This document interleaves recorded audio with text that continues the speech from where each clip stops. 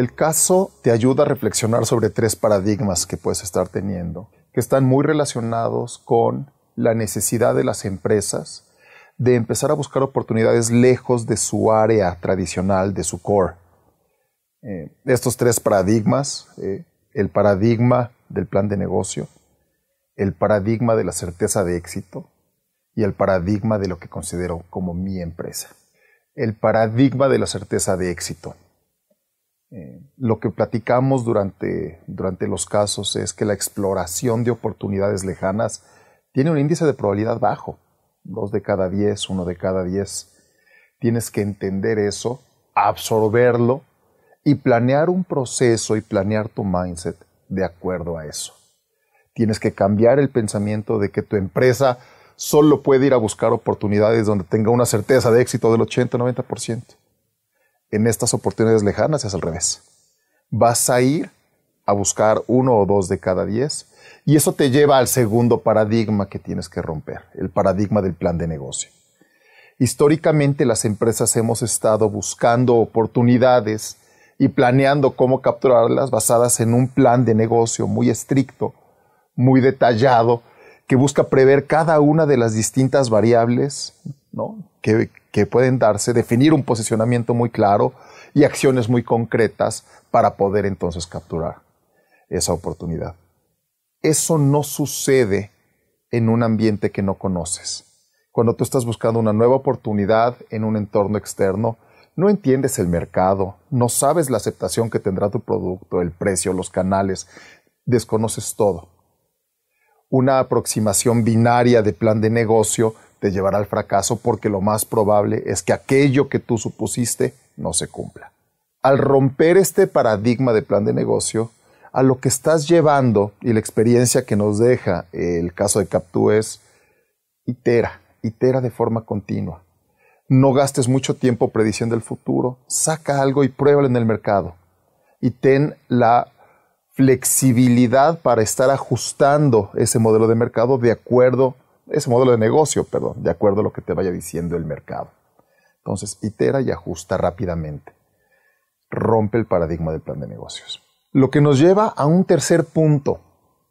Cuando tu empresario o el emprendedor están buscando oportunidades fuera de su core, lejanas a su core, generalmente tienen algunas sinergias con su negocio tradicional, pero muy pocas capacidades que pueden apalancar dentro de su nuevo negocio. Y la pregunta ahí es, ¿cómo construye un emprendedor o cómo construye una empresa una gran oportunidad cuando no tiene recursos? En este caso, Manuel nunca tuvo dinero, nunca tuvo relaciones con empresas, partió de esta, o partió esta aventura desde cero, nada en la mochila.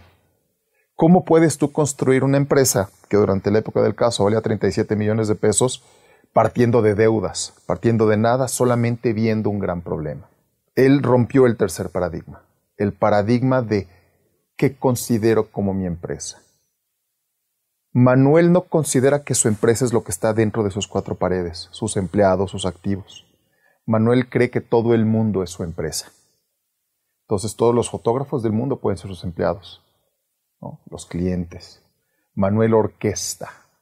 Y Manuel orquesta distintos elementos del ecosistema de innovación, de financiamiento, distintos elementos que se encuentran dentro del entorno y los orquesta para poder crear su modelo de negocios y, para poder crear ese valor. La astucia de Manuel está en cómo puedo yo integrar y hacer que cada uno de estos nodos que estoy buscando orquestar tenga el incentivo de participar sin que me cueste el tener que pagarle de forma fija o invertir en él, porque en ese momento no tengo dinero. ¿Cómo sin recursos puedo orquestarte y convencerte para perseguir crear valor buscando encontrar esta oportunidad? Regresamos al, marco conceptual central de la continuidad, que te habla sobre tres capacidades centrales. Sense, Seize, Transform. Que yo entiendo como la capacidad de ver oportunidades que no ves. Segundo, la capacidad de capturar esa oportunidad que está lejana a tus capacidades. Y tercero, Transform sería la capacidad de que puedas ver y capturar no solo una vez, sino de forma permanente, de forma tal que tengas un ciclo constante y permanente de renovación dentro de la empresa. El caso de Capto en particular te lleva a las dos primeras. ¿no? Enfatiza muy bien cómo Manuel puede ver y cómo puede capturar. Y sobre esas voy a irme sobre ciertas conclusiones. ¿Qué, puedes aprender del caso de Captu con relación a ver? Uno, tienes que tener la voluntad de ver.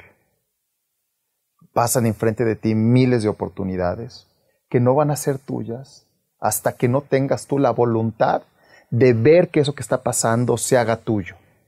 Entonces, parte de ti.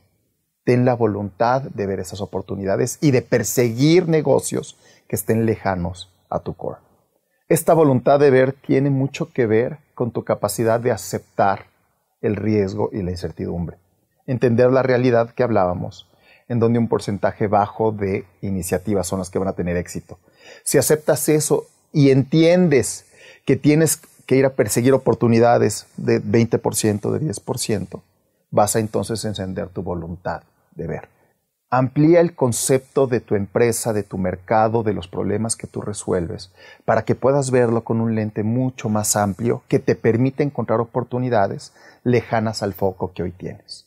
Durante las sesiones surge un, un punto muy importante, que es esta diferencia entre problema y concepto. ¿Y qué defines como oportunidad? Y lo que acabamos diciendo es, enamórate del problema. Tú vas a encontrar oportunidades cuando encuentres problemas dignos de ser resueltos y en donde tú tengas una oportunidad de crear un valor único. Si hay un problema que valga la pena ser resuelto, encontrarás múltiples formas, conceptos, modelos de negocio a través del cual resolverlo. No persigas conceptos, enamórate del problema.